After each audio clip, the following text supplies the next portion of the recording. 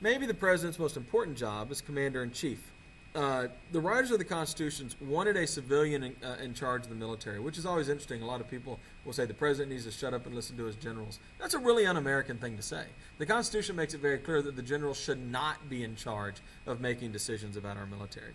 Um, but the, and the president makes important military decisions. I mean, look at all the wars. Lincoln, of course, was the commander in chief during the Civil War.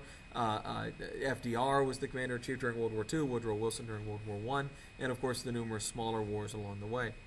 The president commands a standing military and a nuclear arsenal. Uh, which, which, by the way, the founding fathers would have been incredibly against. They did not like standing armies, um, and they certainly would, would not have been prepared for the level of technology our military has today. By the way, we spend as much on defense as almost as much on defense as the entire rest of the world combined. So this is a major power. But war powers are not the president's alone; they're shared with Congress. The pre- the, uh, the president can order the troops uh, where they go, but Congress declares war. Now this is an important uh, separation of powers idea and a check and a balance. So the president can send troops into an area, but he can't declare a war, and Congress can declare a war, and they can't send troops into the area. Now this is also a great example of how uh, separation of powers doesn't really work. Because what we've what, what the presidents have figured out is if they send troops into an area and shooting breaks out, the public will demand war, and there's nothing Congress can do to stop it. So you think of the Mexican American War, where Polk sends troops down to the border. In the eyes of the Mexicans, anyway, he invades Mexico. Uh, there may or may not have been shooting. Many historians believe that Polk, that Zachary Taylor and Polk just lied and said they were shot at. But then he was able to go to Congress and say they're shooting at us. What are you going to do? And Cong- uh, members of Congress don't want to look like they're weak. They don't want to look unwilling to defend the country. And so they give the declaration of war. Vietnam is a very similar story. Uh, apparently, our military commanders lied to LBJ, told him that a boat in the Gulf of Tonkin, the USS Maddox, was attacked. It was not. That was completely made up. And uh, even congressmen who didn't support the war felt pressured to vote for it because we had been shot at. So if the president wants a war, all he has to do is put our troops in harm's way, wait till somebody gets shot at, and then turn to Congress and say, What are you, chicken? And Congress will give him what he wants. So in reality, what, what was supposed to be a separation of powers hasn't worked out very well. Now, after Vietnam, Congress tries to fix this with the War Powers Resolution. The intent was to prevent the president from precipitating war on his own.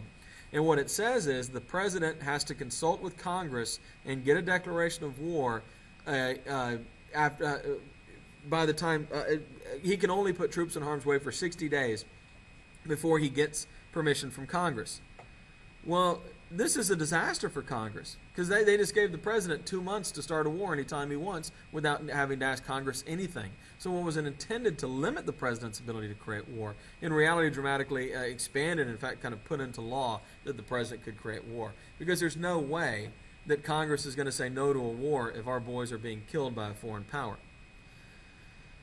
The presidents, by the way, all of them, uh, from Nixon to Obama, have, have, have said that the War Powers Resolution is unconstitutional, that it limits the president's ability to order the troops, and therefore violates the separation of powers. Now, this has never come up in court, but it'll be an interesting question when it does. The president is a crisis manager. Uh, and, and really, presidents are often judged by what they do in a crisis.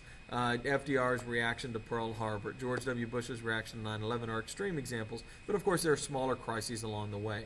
Uh, you, you, may not be familiar with this, but Eisenhower's presidency, his first term, or second term, uh, uh sh- was largely shaped, um, no, his first term, by his reaction to the Suez Crisis, um, which was a situation involving Israel and Egypt. And so when these things come up, uh, Hurricane Katrina comes to mind. Hurricane Sandy recently here, with, or Superstorm Sandy with Obama. With current technology, the president can act almost instantly. Remember, in the the founding fathers were dealing with a time when you had to deliver messages by boat or by horse or something, and, and it was very hard to mobilize quickly. Uh, but the president, of course, can react right away. He can be woken up in the middle of the night, and within minutes, he can deploy troops or deploy aid to somebody who needs it uh, and, and, issue a response. Congress is 535 people. It's very difficult for them to organize and do anything quickly. So the president, by the nature of being one person and his ability to react to a situation quickly, uh, ha- has made his role more and more important. And when there is a crisis, uh, the president's uh, importance is that much more exaggerated. The president has the lead role in foreign affairs, but he still needs Congress's support. Congress provides all the funding, and Congress has to approve his treaties and his appointments of ambassadors. So, this is another case where the president has to work with Congress.